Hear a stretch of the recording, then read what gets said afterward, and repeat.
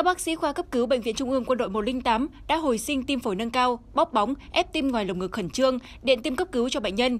Người bệnh được bác sĩ sốc điện, kết hợp hồi sinh tim phổi tích cực. Sau lần sốc điện thứ ba, tim mới đập trở lại.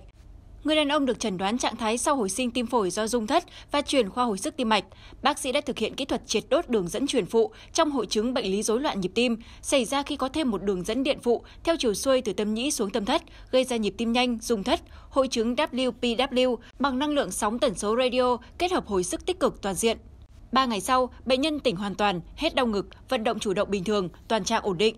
Tiến sĩ bác sĩ Đỗ Thành Hòa, khoa cấp cứu cho biết, hội chứng Wolf Parkinson White WPW là bệnh lý rối loạn nhịp tim xảy ra khi có thêm một đường dẫn điện phụ theo chiều xuôi từ tâm nhĩ xuống tâm thất, gây ra nhịp tim nhanh, rung thất. Triệu chứng chủ yếu của hội chứng WPW là những cơn mệt đột xuất, cảm giác hồi hộp không nguyên nhân, đánh chống ngực, ngất xỉu đột ngột. Khi có các triệu chứng nêu trên, bệnh nhân cần đi kiểm tra điện tâm đồ và điều trị sớm để tránh các biến chứng nguy hiểm như hạ huyết áp, suy tim và đột tử. Biểu hiện của hội chứng WPW trên lâm sàng là những cơn nhịp nhanh xảy ra bất kỳ. Người bệnh đột nhiên cảm thấy hồi hộp, đánh chống ngực, đau tức ngực, chóng mặt, khó thở, ngất. Các triệu chứng cũng dễ xảy ra sau khi ai đó cố gắng sức, uống rượu bia hoặc dùng một số các chất kích thích khác.